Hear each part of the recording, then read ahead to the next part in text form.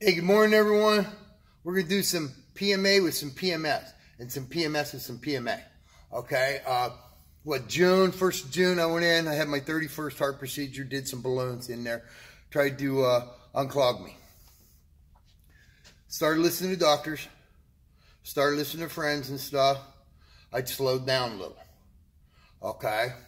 Didn't hit the gym with the same intensity. Laid off the bike. Well, guess what?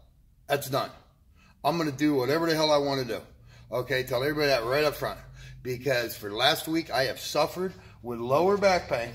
Okay, and that's all because I didn't do what I should have in the core.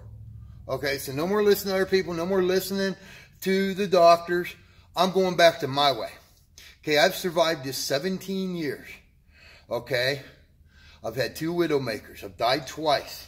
I've had a stroke. I've had 31 procedures okay? 20 stents in my heart and an ICD. I think I know what I'm doing because the original outcome, I was going to have five years, okay? We're coming up on 17, okay? So I've been doing something right. I'm going back to that. I'm just going to pound it and pound it and pound it till I, I'm like a farmer. Uh, I took the bike away. I laid down on the gym a little bit and look what happened. That was just the first sign. Okay, and you can tell I, I ain't walking no belly, guys. Okay, but that was the first sign right there, was me hurting my lower back. Okay, that means that from here to right down here is weak. Because when the back one's back here, especially when I got a gluteus maximus like I do, deep down in, they're hurting, they're weak, that's bad. Okay, so we're going back to Bob kicking ass, taking names, okay, and get ready to do something amazing because if I got something on my plate, something I want to do, a goal, I'll achieve it. Okay, let's go back to that because I'm going to tell you, one thing. I'm 60. I ain't dying until I'm 72. Okay, period.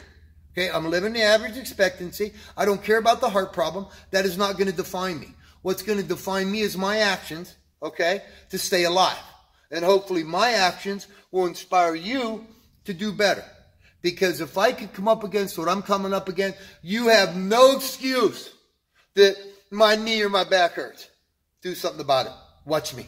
I'm doing something. Believe me, I just walked three and a half miles on a treadmill. My back is killing me. Okay? But I'm going to endure this pain.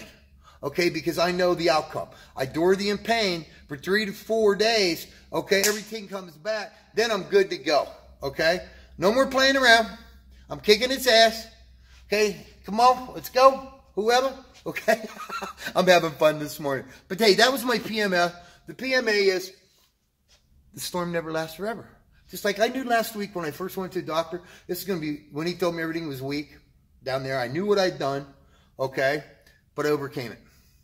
PMA, positive mental attitude, overcame it, okay? You can overcome anything too, believe me. I don't care what he throws at you, you can overcome it. I mean, look at this old weathered face.